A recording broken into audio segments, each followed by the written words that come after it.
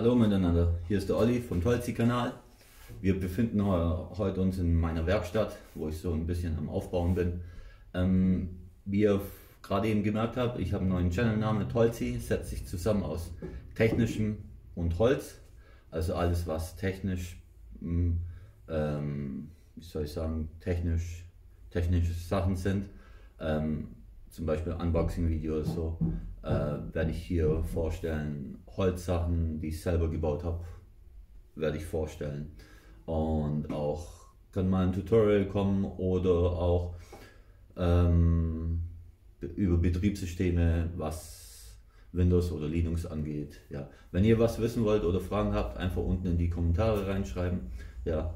Und wenn ihr auf dem Laufen bleiben wollt, dann abonniert mich bitte ja, würde ich mich darüber freuen und aktiviert die Glocke.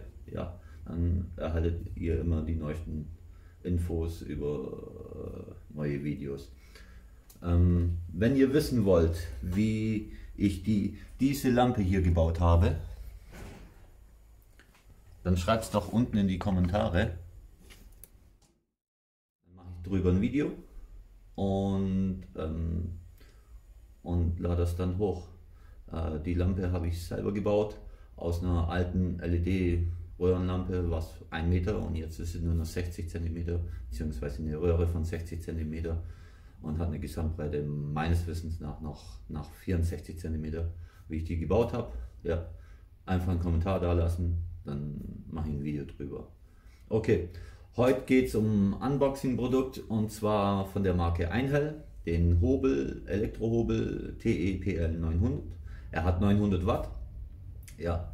Ähm, eine Gesamthobelbreite von 82 mm. Eine äh,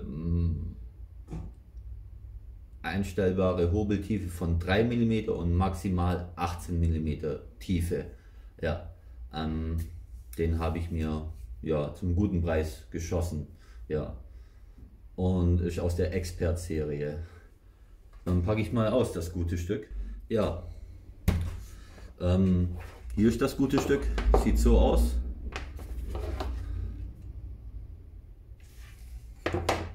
Ja, dabei ist einmal ein,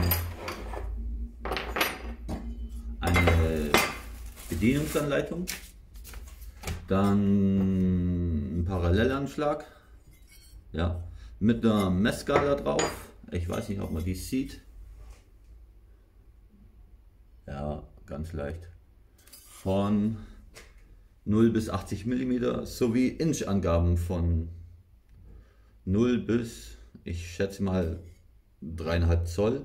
Ja. Befestigungsmaterial für einen Parallelanschlag. Dann ein stufentiefen Messstab, sieht so aus.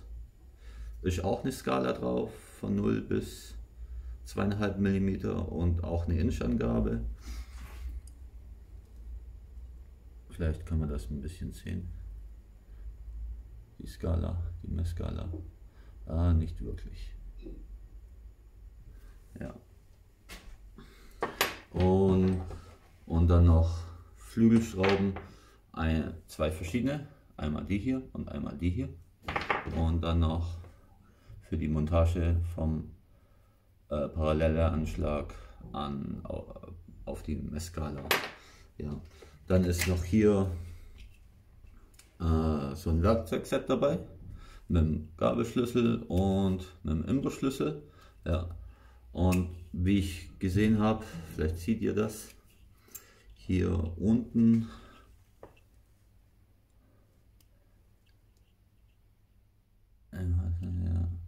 kann man schlecht erkennen.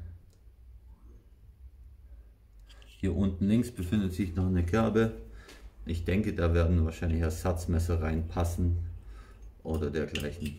Laut Anleitung sollte man dieses Tool beim Hobeln rausnehmen, aufgrund Gefahren, Sicherheitshinweise, denke ich einfach mal. Steckt, steckt einfach hier drinne. So, zack. Dann hat es noch einen äh, Anschluss für eine Absauganlage hier. Ja, äh, die kann, kann, man beidseitig verwenden. Muss man, hier ist ein Pfeil drauf. Hier ist ein Pfeil drauf. einfach hier unten den Knopf drücken. Dann kann man die auf die eine Seite rausschieben. Sieht dann so aus. Ja. Und hier ist so eine kleine Führungsnase. Hier. Und hier ist auch eine Führungsnase. Da. Und kommt dann einfach, muss man den Knopf wieder ein bisschen runterdrücken und dann in die Führungsnase einführen. Und dann ist der auf der anderen Seite montiert. Ja, ja dann gibt es eine hintere Grundplatte, diese hier, die ist so leicht geriffelt.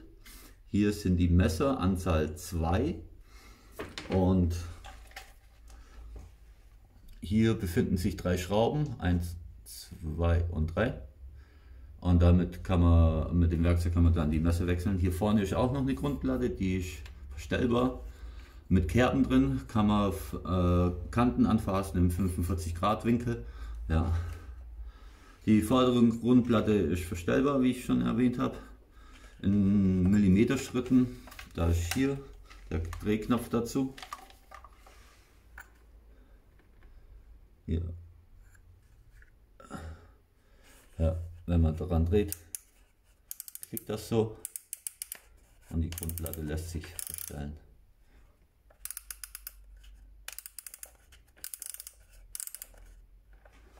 Ja. Ganz normales Stromkabel. Ja, diesmal nicht aus der äh, X Power Exchange Akkuserie. Ich glaube, in dieser Wattzahl gibt es keine. Ich meine nur drunter. Ja, ist aber auch nicht verkehrt. Ja, ähm, hier drüben ist der Riemenantrieb.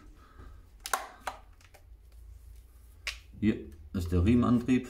Den kann man, ich vermute, auch auswechseln, weil hier auch Kreuzschrauben dran sind und man den Riemen sichtbar ist. Ja, hier hinten hat man noch, um das Kabel wahrscheinlich einzuhängen, dass es nicht stört beim Hobeln. Ja, dann zeige ich euch mal, wie man den stufentiefen Messstab montiert. Wenn ihr vielleicht seht ihr hier so ein Pfeil, das auf beide Seiten. Ich montiere den jetzt einfach mal. Ich verwende dafür diese Flügelschraube. Ja, die sieht meines Erachtens besser aus, um den stufentiefen Messstab zu montieren.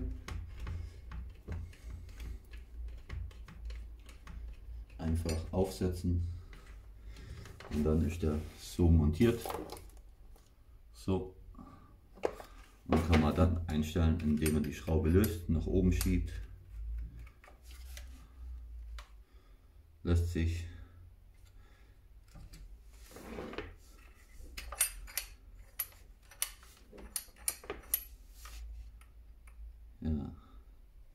lässt sich auf 2,2 mm einstellen, nicht auf 2,5 aus folgendem Grund. Das bisschen hier stößt die Kante an diese Rundung an. Somit, wenn ihr die Schraube löst, seht ihr, geht nicht weiter nach oben.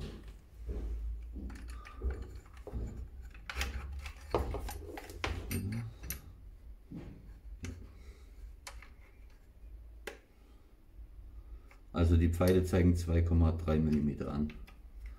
Ja, nicht 2,5. Ähm, dann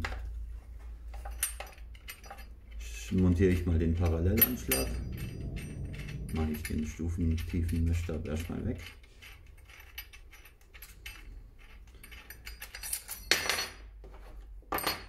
Parallelanschlag nimmt man dazu diesen Winkel,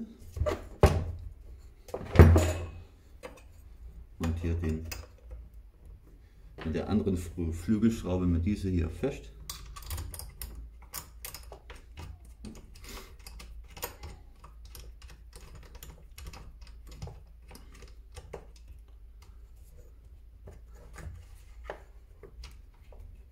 Da gibt es keine Höhenverstellung, der ist einfach so dann festgeschraubt.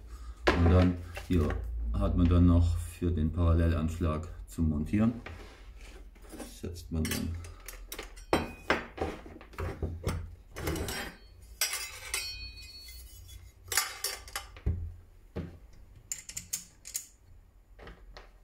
Also, man setzt den Parallelanschlag, also die glatte Kante zur Grundplatte und nicht, nicht so rum, weil das geht nicht, weil hier ja die Kerbung ist, hier die Kerbung ist. Ja, also diese, Platte, diese Seite zur Grundplatte.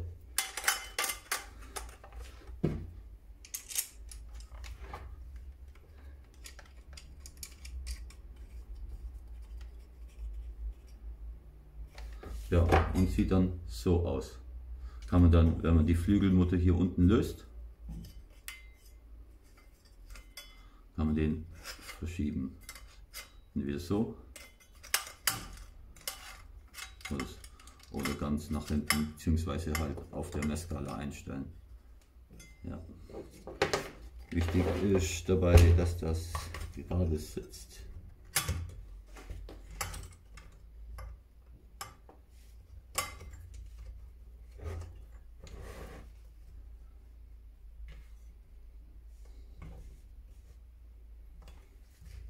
Also, dass es dann so aussieht.